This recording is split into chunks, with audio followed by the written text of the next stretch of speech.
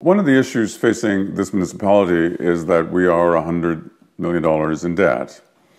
Um, and that's an important issue. Um, that is a critical issue.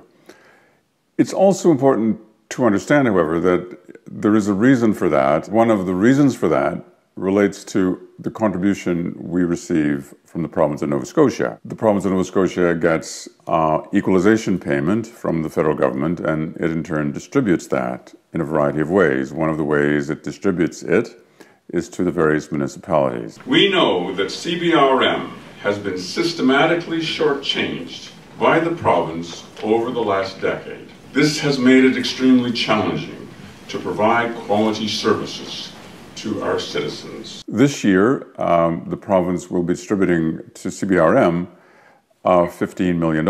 However, what, what the province states is that we're eligible for 31 million. That discrepancy between what we're eligible for and what we actually get, that discrepancy started in 2001. Since that time, what CBRM hasn't received that it was eligible to receive amounts to $105 million. That is the equivalent of the CBRM debt. We also know that the approach we have taken to this has not met with ultimate success.